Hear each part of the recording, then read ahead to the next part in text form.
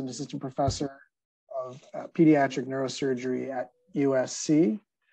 Uh, we have Dr. Anthony Wang, who is a graduate of my program, who's now a uh, faculty member at UCLA across town from Jason. And we have uh, Dr. Amy Bruzek, who's a resident in my program, who will be a fellow at the uh, Washington University uh, Pediatric Neurosurgery Fellowship next year. So the format for today is that we're gonna start with a, a short lecture from Dr. Ed Smith, uh, which will take up approximately the first half of the program from 7 to 7.30. And then after that, our distinguished panelists will present cases uh, to the group. Uh, and we'll have a general discussion about each of the cases. We anticipate that there will be three cases presented, each of them taking about 10 minutes each to present and discuss. There is a chat feature, just like uh, all of the Zoom calls that you're all very used to at this point. So if you have questions uh, for the panelists, uh, feel free to include them in the chat and I'll try to uh, make sure that they get addressed uh, to our panel. Uh, so please, please feel free to participate. I think that's really gonna add to the experience for everybody. In addition to that, there's a survey posted in the chat feature. Uh, so uh, we would encourage all of you to access the survey through the chat and let us know what you think of the seminar tonight, as well as the seminar series in general, what we can do to make this a better experience for everybody in the future. So with that, uh, we'll get started. Again, thank you everybody for being here. We really appreciate it. And uh, Ed, over to you. All right. Well, I want to thank the uh, the the uh, uh, group for the kind invitation to speak with you tonight. I, I, thought this was supposed to be six hours of talking, so I'm going to have to really pare this down pretty good. Um, and I was told exclusively by the distinguished panel that I was not to have one word of science in this entire talk. And that's good because I don't know any science, but uh, I will try to keep this very clinically oriented and, and uh, directed towards, you know, those that um, are in training or, or uh, you know, uh, are interested in this. So, you know, I, I, see in the crowd Dr. Scott, who taught me everything I know. So if I say anything right, it's because of him. If I say anything wrong, then it's my own fault. But, you know, I want to talk about AVMs today. And I, I know the audience knows this, but I think sometimes people get so caught up in the nitty gritty of, you know, should I use a right handed clip on the left side coming in a 30 degree angle? And I think one of the big things is to step back and get the big picture. And, you know, why do we care about AVMs? And, and the short answer is strokes. And, and this is both ischemic and hemorrhagic. And I don't need to tell the group this, except that AVMs are almost always thought of hemorrhagic strokes with a rupture, but there's also an element of ischemic strokes where there can be steal phenomenon. And, and I think it's important to really understand when you talk to your patients why we're worried about these. Now, when you think about the kind of cerebral vascular disorders that can cause strokes, I think it's helpful to break it down into coherent groups. So you can have damage or occlusion of vessels, you know, you get thrombosis, dissection, spasm. You can have structural changes in pre-existing blood vessels like aneurysms or a dissection. Um, you can get these progressive arteriopathies like moyamoya or heritable arteriopathies. And then, like we're starting to talk about today, these development of pathologic vascular structures uh, like the vein of Galen malformations, uh, AV fistulas, cavernous malformations, and here, AVMs. So in terms of looking at these, you know, what is an AVM? Um, these are direct arterial to venous connections with no intervening capillary. So everyone drives like they're in Boston. They just shoot straight through from an artery to a vein. There's no intervening slowdowns or anything to stop things. And there's no functional neural tissue within the lesion. Um, they occur in the cerebral hemispheres, the brainstem, the spinal cord, really anywhere there's brain tissue. And by and large, they're embryologic. Um, so you're born with them, uh, like Lady Gaga, but they can grow. And, and these are dynamic lesions. Um, they can dilate, they can stretch, they can stenose, uh, they can recruit other blood vessels. And, and as such, I think they're, they're, very important to understand that the natural history of these can change. Um, I think you know when you when you look in the big picture this is the most common symptomatic intracranial vascular abnormality in kids Um, and autopsy series, you know, this is back, you know, decades ago, but it showed that about 1.4% of people have some form of what they called an AVM. Uh, and these were 46 lesions, about 3,200 brain tumor cases.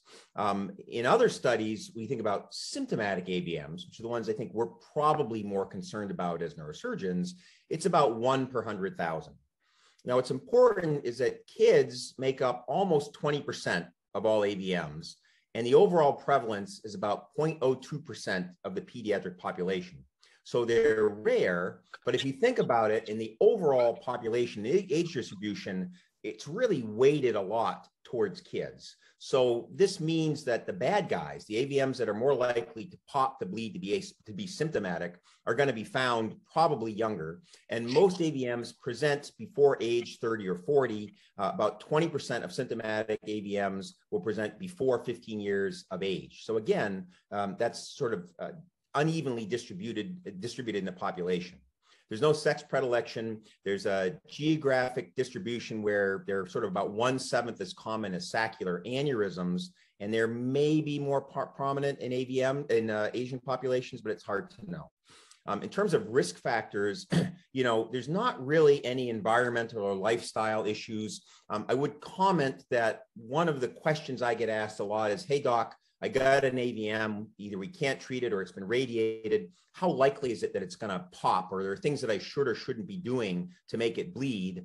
And there was a nice paper by Heather Fullerton about uh, eight or nine years ago where she looked at a huge population in the western part United States. And there's really nothing that predisposes it to bleeding other than extremely high trauma, so car accidents, um, and, and, you know i usually tell people don't do boxing or tackle football but there's not a lot that will make them bleed in terms of genetic factors, and again, relevant to the boards, you know, hereditary hemorrhagic telangiectasia, uh, that's sort of a, a classic one. Um, this is about 35 uh, percent or so with uh, kids with HHT will have central nervous system AVMs, and um, about a quarter of them will have multiple AVMs.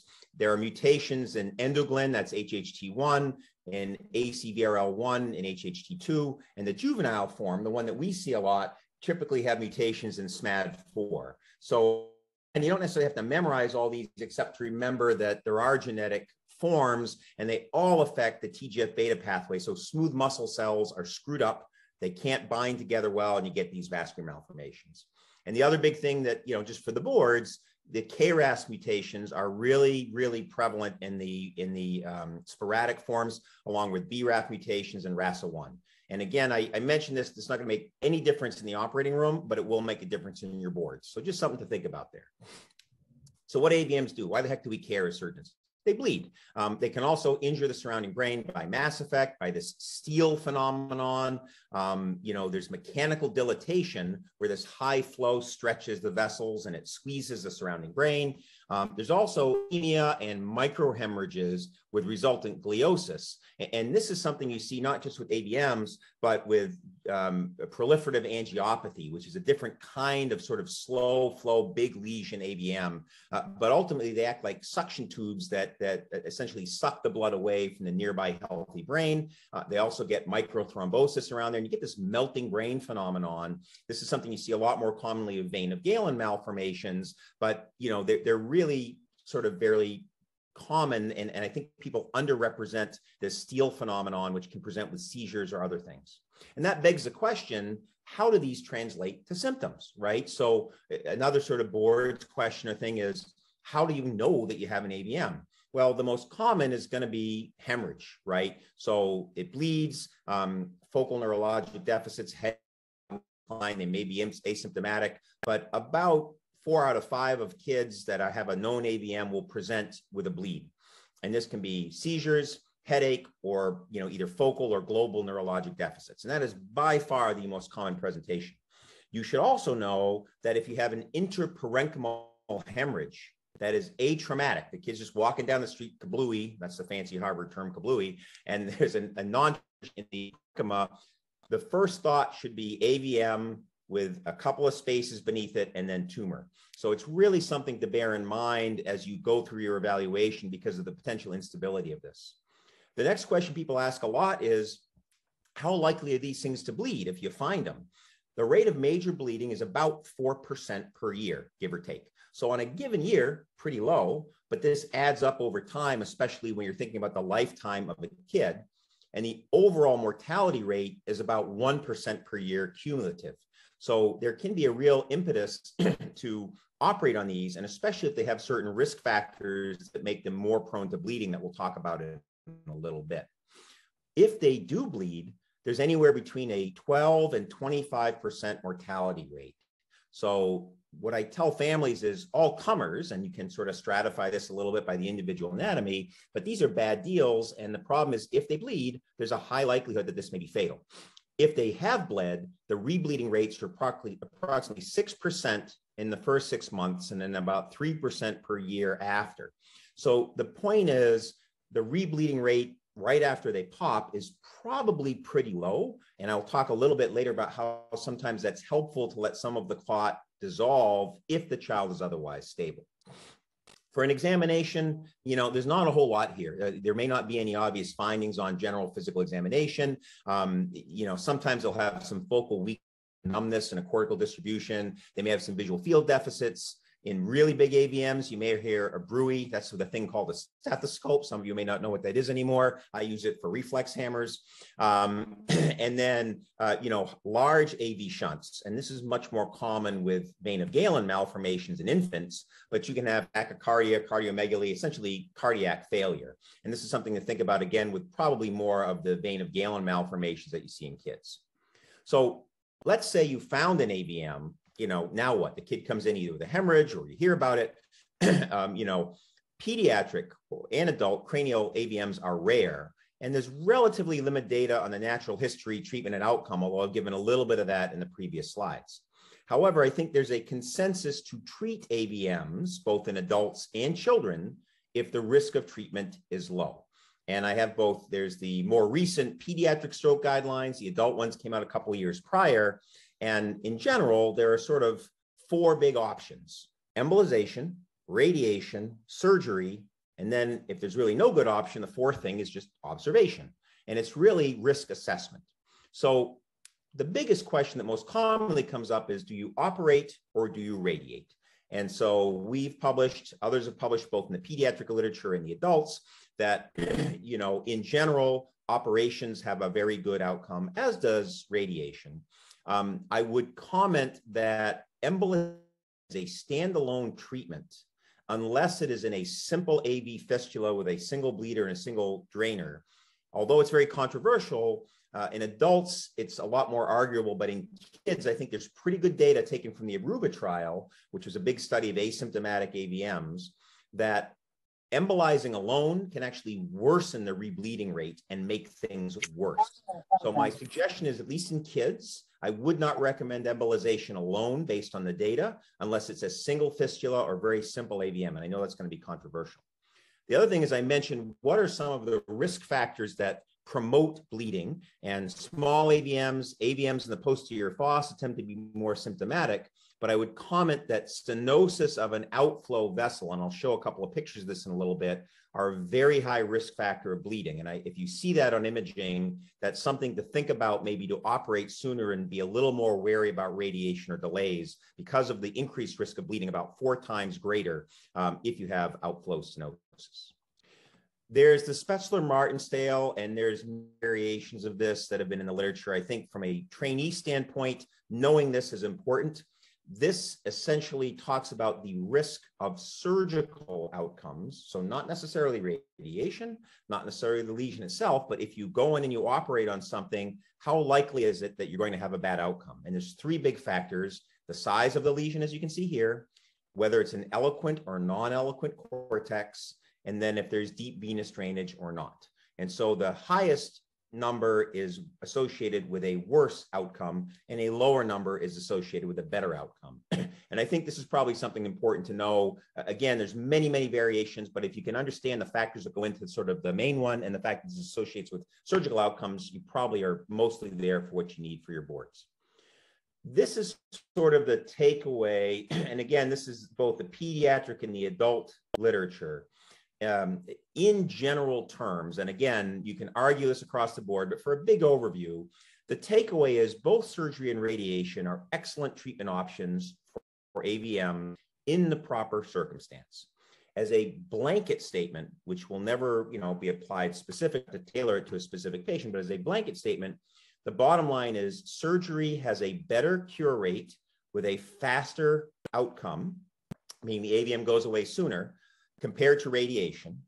Roughly 90% cure rate uh, and this is a five-year window, uh, compared to about a roughly 80% cure rate with radiation. Um, again, this is all over the map. There's lots of specific things. We'll talk a little bit about more of those later. But in short, what you're trading is with radiation, you can access things in deeper areas or larger lesions sometimes that aren't as amenable to surgery um, at the cost of a longer length of treatment time and a lower cure rate. Whereas surgery has higher upfront risk, a higher risk of either death or uh, morbidity, but that's associated, if you can get through it well, with a higher cure rate. So that's sort of a general statement. So, with all that background, if this is sort of a talk are aimed at trainees. What the heck do I do as a resident? We've talked about about you need for the boards, the general background. Let's get in the nitty gritty of all right, I'm on call, AVMs come in. What the heck do I do? And really, what I want to focus on is surgical stuff for surgeons, right? The people on this video thing, they're surgeons. And I really want to talk about the key things, which are what the heck is the diagnostic imaging? How do you how do you address it? How do you look at it? Um, the urgency of an operation you know how quickly is it that we need to do something? Um, and then I, I, think very important the operating room preparation. You know what is it that we need to do to be ready? Um, so let's start with a radiographic evaluation. You know most folks if they come in kids or adults with a with a you know sudden loss of consciousness usually cat scan is going to be the first thing. And if you see an intraparenchymal hemorrhage without a clear etiology, you know, they didn't just get bonked in the head with a baseball bat. Um, think about an AVM and think about a CT angiogram. And this is really important to get the lay of the land. If nothing is seen, um, and you've done more of an evaluation later, including an MRI or an angiogram, it is important, I think, to repeat the imaging in four to six weeks with an MRI to look at the hemorrhagic cavity to see if something is there after the clot is cleared. And then further testing is sort of dependent on the stability of the patient, but DSA, diagnostic, I mean, digital subtraction angiography, I think is, is really, really important in these kind of questions of AVMs. So here's an example here. And, you know, I like to call on the residents when we're sort of sitting in the same room. I know we're not doing that here, but, you know, when you look at this, this is an, I usually tell the residents, the first thing is stall for time. Ben Stein taught me this at Columbia. You say, what is the kind of picture, you know, T2 MRI axial of the brain? And that gives you a few seconds to go through pattern recognition. And don't just jump to the answer. But what you see are these dilated serpiginous vessels in the right frontal lobe, and that's suggestive of an AVM. There are some other things that are important here. And you'll note that when you talk about an AVM, it's not just the size and the location, but as best you can, are there feeding and draining vessels that you can get any hints from? You can see there's a large vessel here, probably an anterior cerebral vessel. You can see large vessels in the middle cerebral area, so probably fed by the anterior and middle cerebral arteries.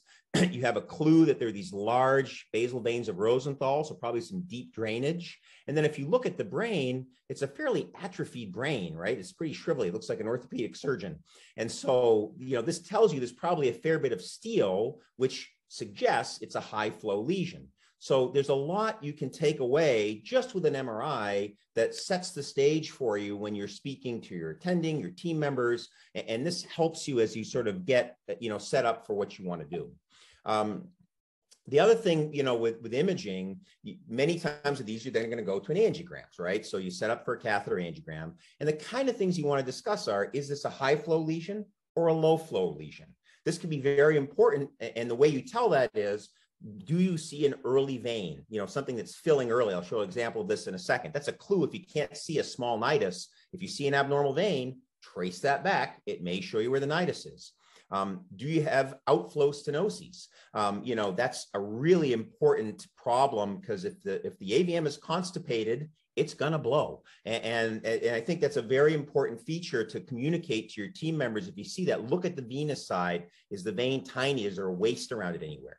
Um, are there varices in the subarachnoid or ventricular spaces? Is there an anatomic boundary? Uh, Dr. Maher and Dr. Scott wrote this beautiful paper about how many AVMs are linear and they end at the ventricle. And this is really important with surgical planning. And it's because of the embryology. If I had science time, I'd talk about the science, but I'm not allowed to talk about science, but it's really interesting. So next talk, we'll talk about that. Um, for the residents, how many and where are the feeding vessels? Um, are there aneurysms on the arterial side or the venous varices on the other side? These are all the features that you want to communicate more than just it's a four centimeter AVM in the right frontal lobe. Uh, these are really critical things because these dictate the treatment options. And I think this is what you want to communicate to the team. This is an example here. If you look at this, right, you can say, here's an arteriogram, lateral picture, carotid injection, and you can see an early vein, right? The superior sagittal sinus up here is filling while you're still in the arterial phase. And that's the thing where you talk about what phase of the arteriogram are you in, and do you see abnormal structures? You shouldn't see venous stuff in the arterial phase.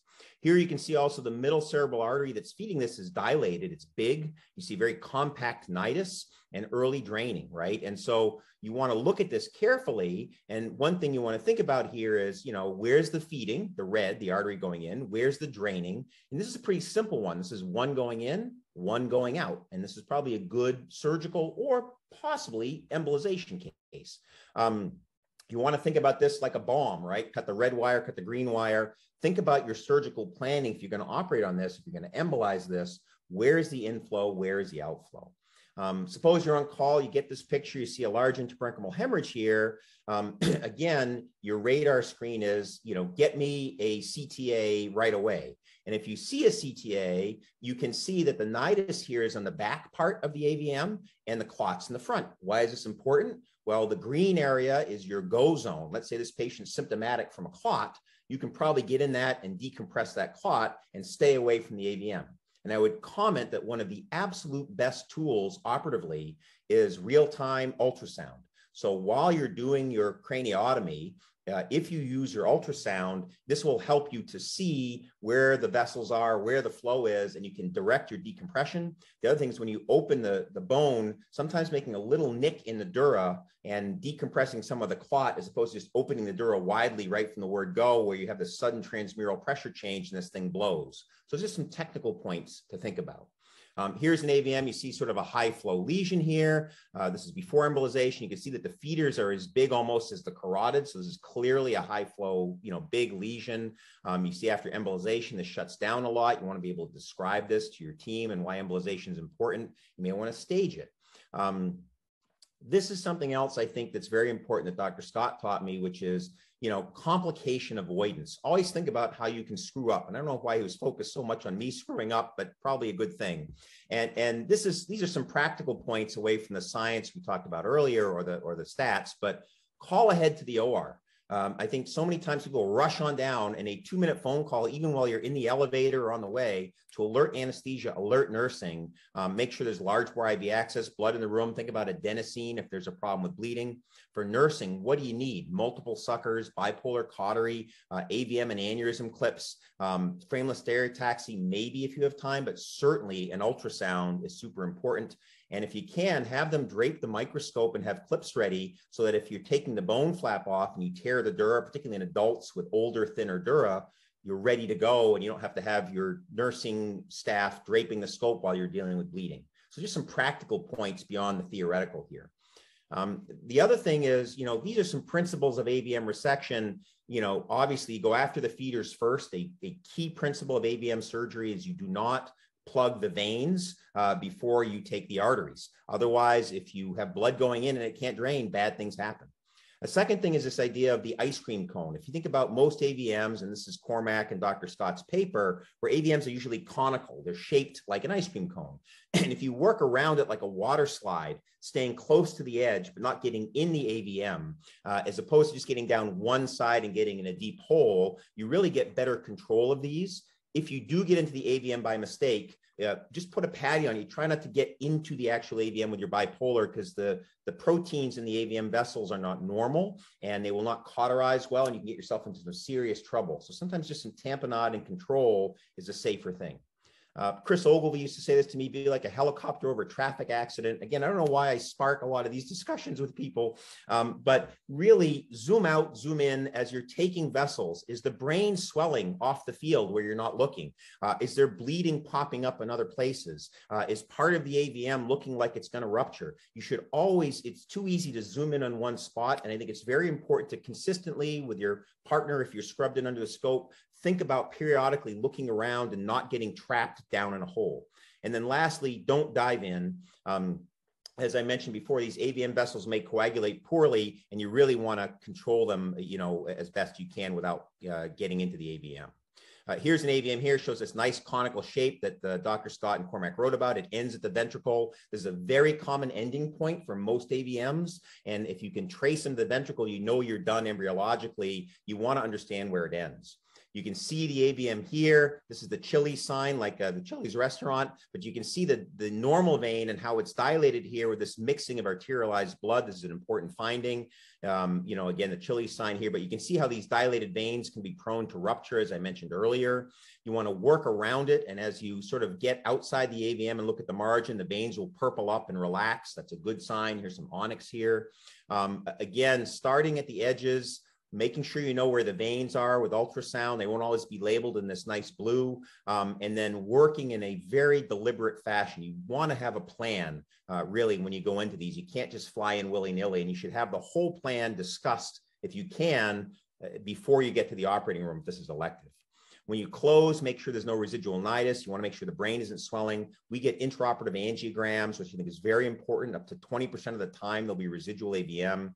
Look for swelling, bleeding problems. This is why if you have a big AVM, consider staged embolization beforehand to let the brain adjust and develop alternative vessels, maybe keep the patient uh, a little sedated or asleep afterwards. Um, this is a little video here in the last, I think I've got about six more minutes. So um, just you know some general principles here in video you know like i said before the imaging the urgency calling the order prepare you have this angiogram here, making sure that you really understand where things are. If you can use uh, navigation, great, but if not, ultrasound.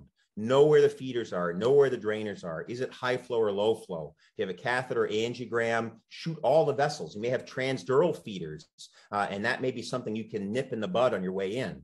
Make sure you understand with your team in three dimensions where the feeders are, where the drainers are, how many call ahead, blood in the room, three suctions, get your scope pre-draped, have your clips ready. Your table setup is something that is so important and having a nursing or scrub team that knows what they're doing is critical. You want good microdissection tools so you can really get the arachnoid off and see what you're doing. Big craniotomy, I, I think these fancy pants, little tiny things are no good go big or go home. You want, you know, as as uh, they said at Mass General when I was training, you can compromise on love, but you can't compromise on exposure. You really want to see everything. Um, ICG, I don't use as much anymore, but if there's a problem, you can see if the flow is shut down. You can get a sense that it only show you what you can see. Um, really use the microscope a lot. I, I, think it's very, very helpful to have good understanding. Hug the AVM. Um, you, you, really, I, I'm a big fan of very, very small, tiny movements. You see my wide exposure here, um, working in a conical shape where you, you, you really are, are, working as a team, getting the scope set up so you can have your uh, uh, other surgeon directly opposite you it is so, so helpful. Um, if you can use ICG dye, great. We definitely use an angiogram, like a full catheter angiogram at the end. Um, and then obviously do the draining veins last. Uh, if you can see this, you've got everything dissected all the way around. We've left a little pedicle of the draining vein right here. And, and that's sort of the last thing that you want to attack and make sure that you know everything's done. Look for bleeding and problems. Make sure you've got good uh, closure. And um, we use gel foam or duragen but you want to make sure the brain isn't swelling at the end. Ultrasound it. Get your intraoperative angio. Don't be afraid of going back if you think there's a problem. Uh, it's better to do it right away than to, to do it later. Um, and then lastly that you know follow up is, is in the icu is so important talking to the ICU team, setting your blood pressure parameters, making sure if they had a bleed, you know, they're on the appropriate meds, um, frequent neuro exams, making sure they're not having outflow problems, really, really important. Um, the last thing is, you know, this intraop angio, uh, I've certainly left stuff behind and, and this is the time to tackle it. You don't want this popping in the middle of the night on the day after surgery. And this has been validated by multiple groups. Lastly, in my last sort of three or four minutes here, um, normal perfusion pressure, pressure breakthrough, you know, if it's a high flow AVM, this is a real problem. Um, you can avoid it at the beginning by staging with a little embolization, controlling blood pressure, maybe sedating the patient. Um, really, really important. Um, detailed repeated exams. We get follow-up MRIs at six months and then once a year. And then we usually get a one-year post-op angiogram. We're looking at that now with our series of a few hundred patients and that seems to be important. The last thing is how can we get better? Um, you know, I do want to talk about 3D printing in the last minute here. We use this a fair bit for complex lesions. Uh, we order them. We can get same day prints really now. It used to be overnight. Um, this is just an example here of how we can use this. Um, you can predict, prick, you know, for an occipital model for trainees. It's a great way to sort of see it in a way. You can skeletonize the AVM like this. Um, you know, you can uh, look at it within the context of the brain, sort of in a in a you know transparent model like Superman with his X-ray vision. And then when you're doing the surgery, we'll have the models in the room, and you can actually hold them up and look, and you can say, okay, you know, if this is the draining vein, here it is right here. If this is the onyx artery, here it is right here. You know the distance between these two, and if you're sort of deep in the in the brain for a deeper AVM, understanding this anatomy, I think, is just so important and so helpful. So something to think about in terms of, you know, something you might be able to use if they have this at your institution. Um, it, it helps reduce OR time. It helps for training. It's great for trainees. Um, so it's not just the gee factor, but, but it actually, I think, shortens OR time and is helpful. So in conclusion, I hope I think I've got my 30 minutes right in the nose. Uh, it's so important. You know, you have all your stats, you have all your things for the boards. We talked about the prevalence and all that. I think speaking surgeon to surgeon, you want to understand the risks and you do that by getting the imaging and understanding what the anatomy of the avm is. It's so so important. You want to really know what your treatment options are. You can't just be a surgeon and only do surgery or be an endovascular person and only do endovascular. Um, you want to have a multidisciplinary group so you can give the best treatment for the patient and you really want to understand the urgency, not just with a bleed, but is there outflow stenosis? Is there an aneurysm? Is this something that looks like it's changed over time with a lot of edema around it? Um, remember to review the imaging. And I can't overemphasize the idea of having a plan that, you know, before surgery should work backwards and really know what it is that you want to do call ahead, coordinate it, and then have a backup plan. So if you have bleeding or you have a problem, how are you going to get yourself out of trouble? So I, I think that's uh, sort of the time I have here. Uh, it's a it's a great field. I've learned some. I've been very fortunate to learn from some great folks. So we'll move on and and uh, finish up with the second half of uh, of today's uh, seminar, which is case presentations from our panelists. Uh, again, there is a chat function which I think is still enabled. So we'd encourage all of you that are still listening uh, in to uh, chat with the, the panel uh, using that function. So first we'll hear from Amy Bruzek. Did Amy make it into the waiting room? Let me see. Oh, I don't think Amy's uh, in yet. I'll text her and get her back. In the meantime, Anthony, are you we, ready we to got her back. Your... She's here.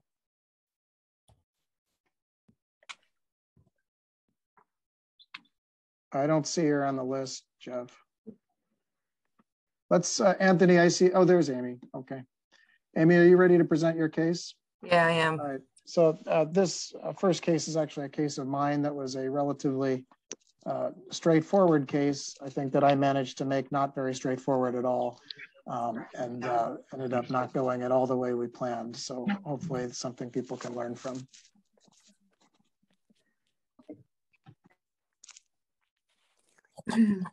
All right, so I'm Amy Bruzek from University of Michigan, and I appreciate this opportunity to present this patient. This is a 14-year-old male with no past medical history who presented to our hospital with a single seizure, first seizure of his life. On our examination, he was neurologically intact. He underwent an MRI that I unfortunately do not have here um, that did show a left parietal arteriovenous malformation um, that was just located just posterior to the motor strip. He underwent a um, diagnostic cerebral angiogram, which, as you can show here, shows a left parietal AVM uh, with multiple small arterial feeders and a um, superficial cortical draining vein. Uh, the measurements were about 3.5 by 3.2 centimeter AVM. our calculated Spetzler-Martin grade was two um, for its non-eloquent location. This is the dynamic imaging of the angiogram. Again, this is a carotid injection. As you can see, there are multiple small um, arterial feeders and the draining cortical vein and a compact nidus. Uh, the patient underwent uh, embolization with Onyx the day before planned surgical resection. Um, as you can see here, this is a static AP and lateral views post-Onyx embolization. This is the Onyx material uh, with the embolized AVM. It looks here like the entire thing was included. However, on the dynamic imaging of the AP carotid injection angiogram, there are still residual uh, nidus and vessels um, for the um, AVM. So that's the AP view. And then this is the lateral view of the carotid injection with the distal MCA feeders, um, still some nidus. Um, the patient was admitted to the pediatric ICU that night for close monitoring. Unfortunately, at 2 a.m., our neurosurgery resident on call received a page that there was a decline in the exam. On examination, the patient was somnolent with right hemiplegia. Stat head CT was done, which showed a large left intraparenchymal hemorrhage. The patient was taken emergently to the operating room. A large left parietal craniotomy was performed. Upon opening the dura, the brain was quite swollen with um, quite a bit of cortical bleeding. Um, with some difficulty, we were able to get around the AVM uh, to um, obtain control of all arterial feeders, surround the AVM, um, uh, take the arterial uh, feeders and then um, lastly, take the uh, draining vein. Uh, this is the post-op um, angiogram, which does show a complete occlusion of the AVM. Uh, my literature review for embolization of AVMs um, revealed multiple excellent um, papers that describe multimodal treatment offering pre-op embolization um, for AVMs. Um, at the University of Michigan, we do do preoperative embolization for grade two uh, AVMs and grade three AVMs. When we do planned surgical resection, uh, we do not do um, standalone embolization. Uh, we do combine it with um, surgical resection and um, SRS uh, when relevant. Um, one of the things I did have difficulty finding was the timing of the uh, embolization and whether that is done same day or uh, the day before. Um, when we would do the embolizations the same day, we did find that we were starting the um, AVM resection in the uh, late afternoon or early evening, um, which was not ideal. Um, so thus my questions for the panelists are, uh, number one, do you embolize uh, prior to low um, surgical resection for low grade MVMs, AVMs, particularly grade two? And then what is your exact timing of the embolization? Do you do it the day of, the day before? Um, how do you plan that out? And then in this case, would you have done something differently? So which, uh, which panelist do you want to start talking first? Hopefully not the one that was up last. No, thank that's you. A, for... That's a great case, Amy. That's, you know, these can be very tough in terms of um, managing complications from, from pre-op embolization because your goal really was to address the AVM and, and hopefully uh, sorry, address AVM electively and hopefully not have any complications in this case. And um, so in my practice, I tend to do preoperative embolization the day before and watch the patient in our PICU. Um, and um, I, you know, in my in my experience, it's it's been quite rare where you have a um, post embolization hemorrhage, but it can happen. Um, and when it does happen, you do have to address it in a very urgent fashion, like you guys did. So I think you guys did all the, the correct steps here. Dr. Wang? So um, I think, I guess the, the way that I think about preoperative embolization is that it's very much an art and not a science. Um, the thing about embolization is it's it, it, the preservation of the veins is, like your goal, is your main goal right and so when you when you risk spontaneous occlusion of the veins which i'm fairly certain is what happened here um, you know that that's when you get yourself into trouble and so you know, there are some cases where, you know, it's, it's, it's smart to embolize in stages, right? In order to make sure that you preserve the veins. In some cases, you know, it's, for, for us, like the way that, that, that we tend to, to approach embolization is, is a very targeted fashion. So that when, when I, when I see that much cast on an AVM, it strikes me as, as pretty aggressive, um, especially for something you're going to take to surgery so the, the things that I tend to use a, uh, embolization for are for, for, for deep feeders, right? The ones that are going to be hard to get to, or, you know, in order to save on blood loss and for, and as a marker, right? So if there's a, if there's an en passage vessel nearby, something like that, then I'm going to get confused. And uh, so that, that I find that to be a really useful way to approach embolization. Um, so. Yeah, I, I think that's right, Anthony. I certainly finished my training with the idea of very selective use of embolization. Um, and in, I, I, think um, in this case, you're right, there was quite a lot of embolization done to this AVM. The, the interventionalist was very proud of, of the job that he had done and said I would have a really easy time in the operating room.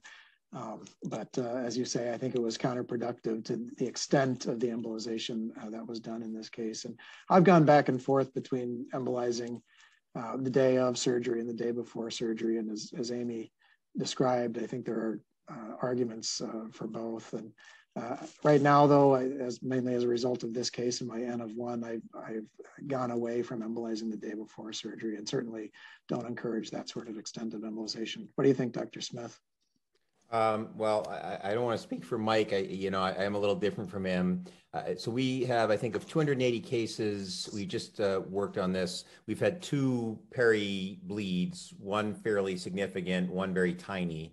Uh, I would comment. I like to do them the day before because I feel that it allows sort of a staged decrease in the blood flow. And similar, I think was maybe it was Anthony that said it, but I don't think the goal is to embolize it to cure. Uh, and in fact, I would object to doing that with Darren and with Alfred. I think sort of turning down some of it to let it reroute, because if you're too aggressive, I think you get that sort of brain constipation I mentioned in my talk.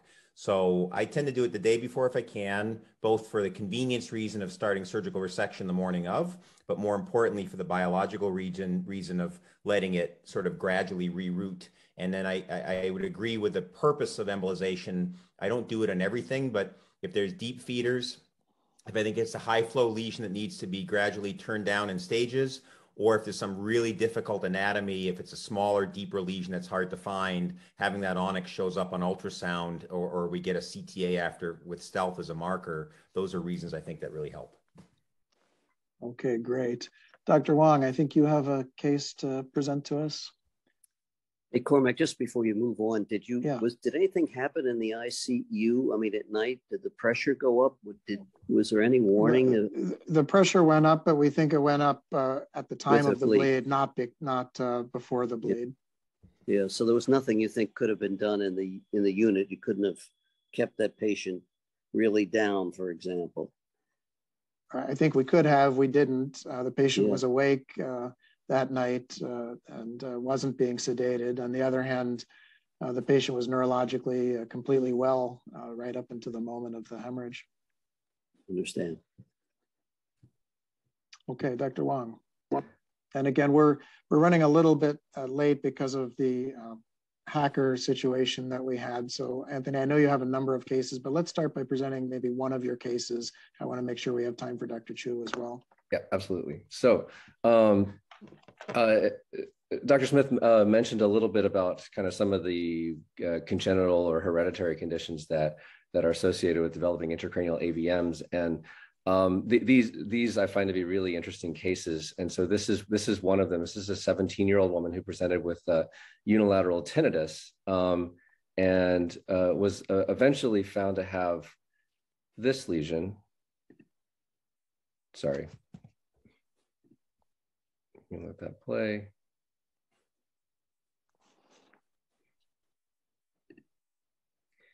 So um, this is a right common carotid injection.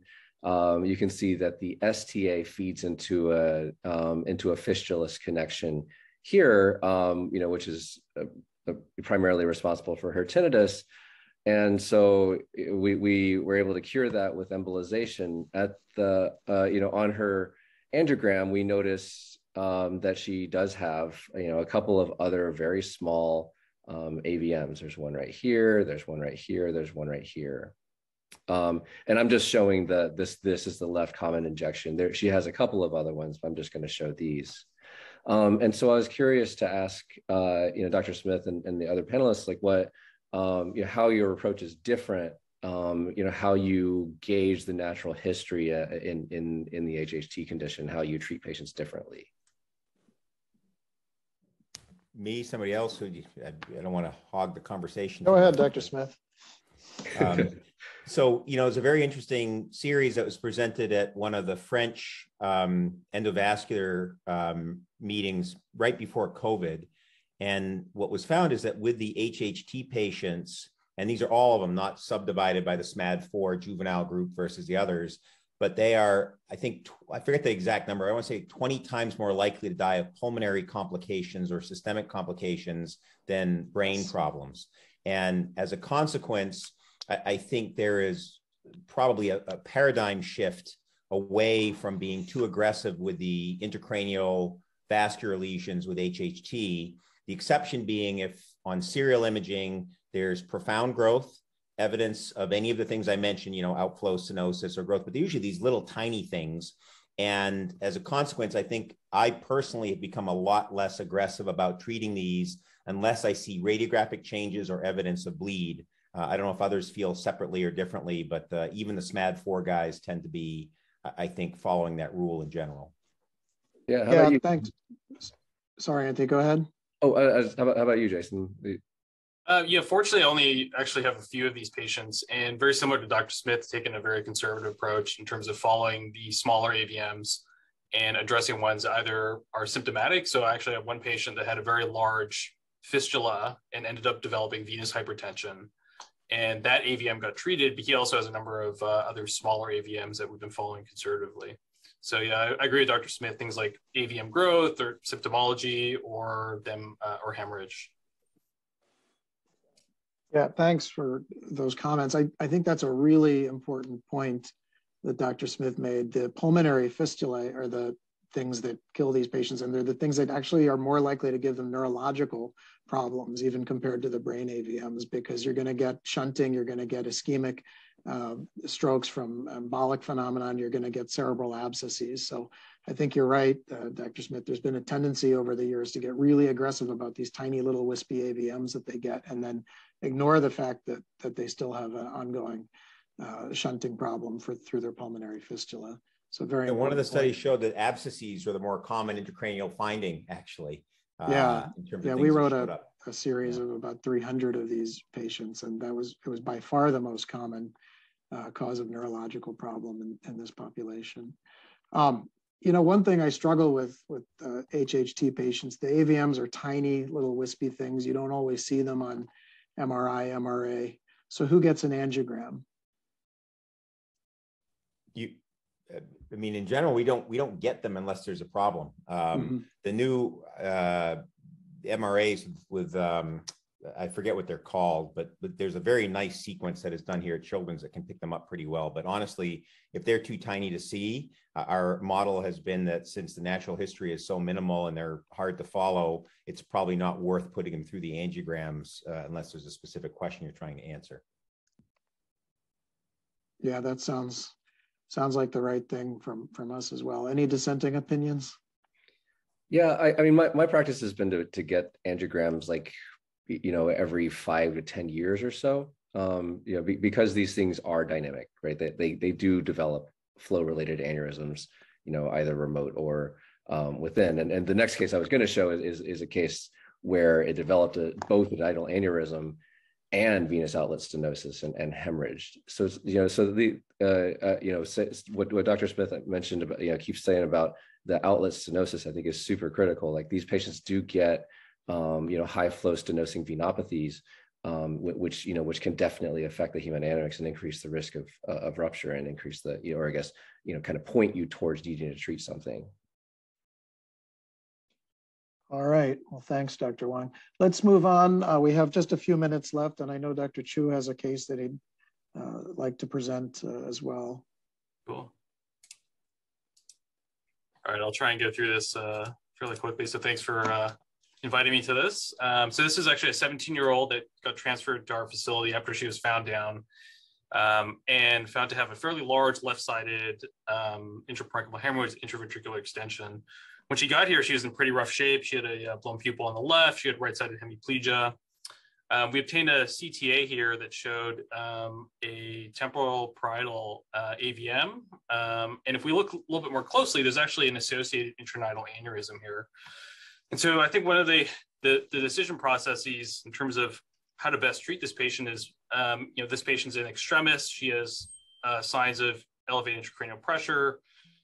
Um, she has intraventricular hemorrhage. She likely needs to go to the OR for some form of decompression. Um, and the question I think oftentimes is, is there, should we treat the AVM at the same time? Or is this something where we can approach in a staged fashion to let the patient cool down, recover from the acute events, and then uh, and then return to treat the uh, the AVM.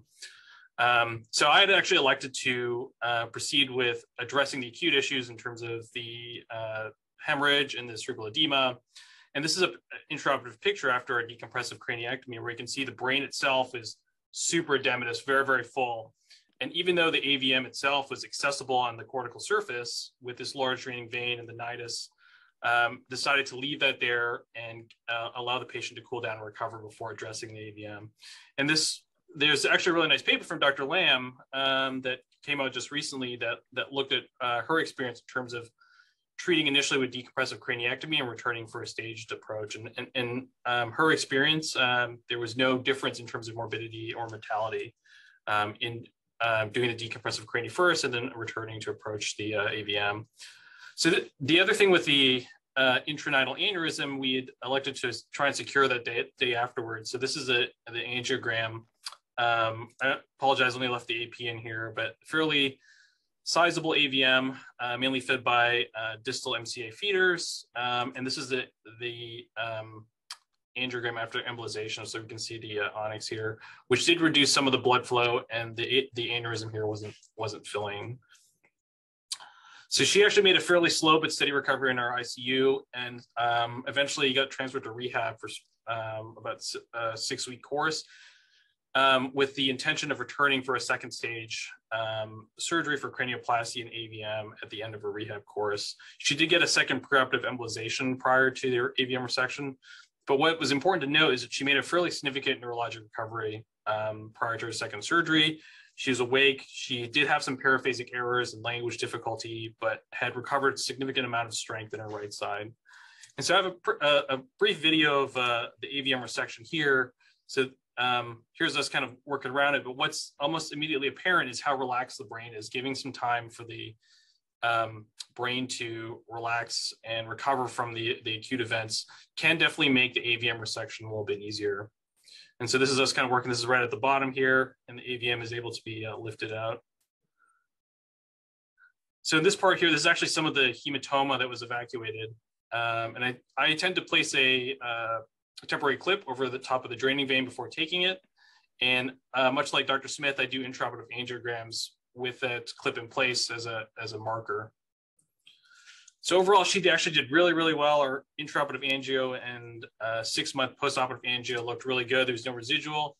And um, I just saw her in clinic recently at one year post-op. She was living on her own, ambulating independently, living independently uh, with some rare paraphasic errors and um, follow plan essentially to get um, yearly MRIs, MRAs, and then an angiogram at uh, five years post-op.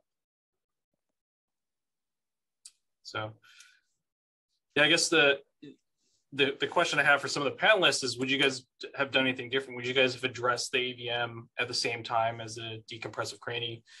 And, um, you know, I think some things to really kind of think about are, you know, there's this angio, this AVM had a high risk feature, had an, uh, had a nidal aneurysm. There was a big hemorrhage that likely came from the nidal aneurysm, and she was in extremis. Um, we also had suboptimal, or not suboptimal, but incomplete vascular imaging to really define the, the AVM architecture too. So, um, I, yeah, I don't, I don't think I would have done anything different.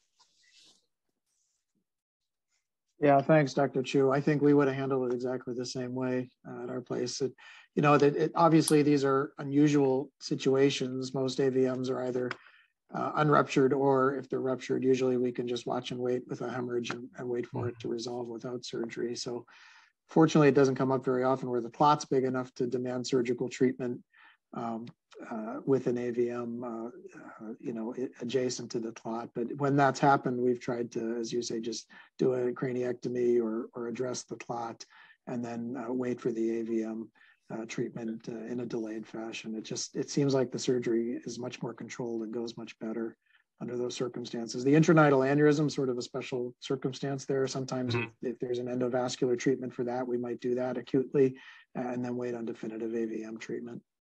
How about the other panelists?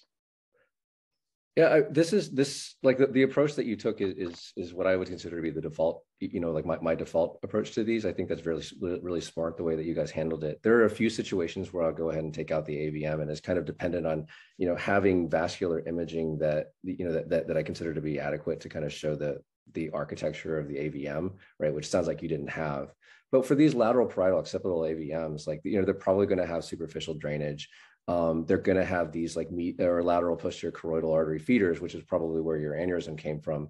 And so, and then if there's a big clot, right, uh, the, the idea of like letting it, letting the clot sit and liquefy and stuff is to make your comeback surgery uh, safer, right? Um, so if, if, I'm able to, if the clot is, you know, comes out easily, if I'm going to do a, a, you know, a clot evacuation and, um, and, and, and you can see the deep aspect of it adequately, then in those cases, I'll, I'll just go ahead and take it out.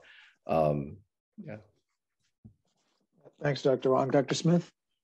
No, I 100% agree. I, I would comment, we just submitted a paper looking at something that we, uh, we I think Shivani was on the call earlier, but uh, split nidus syndrome, where mm-hmm. Mike showed me a couple of these cases earlier, but where the AVM actually splits in two uh, based along the pedicles of the vasculature, and you can miss those at the time of surgery. So my only comments would be, I would agree with this strategy. Sometimes you got to take out the AVM if you're in deep, deep trouble, but I really prefer not to.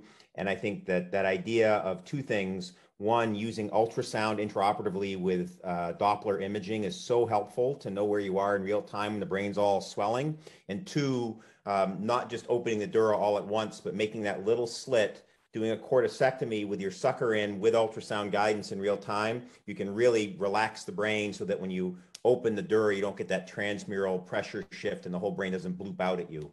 So those are just some practical points I think are so important. And the rebleeding rate, as I mentioned, in that interval of six weeks is so low. Uh, again, I think we looked at 280 patients. I forget how many were intra. I, I want to say it was over 100, and I, I, don't think we had any knock on wood intra period ruptures uh, between. So I would 100% agree with the strategy and just point out those little practical measures that we've used. Yeah, thank you very much. Yeah, I, I, I 100% agree. Ultrasound is so useful during these cases, you know, whether it being visualizing the nidus or at the, at the end of surgery or before surgery, if you're placing an external ventricular drain, you can definitely, you have the ability to target the ventricle. And I actually have, uh, you know, while you were talking, I found this one picture that I have from, a, uh, let me see if I can, let me see if I can share it too, uh, if we have time.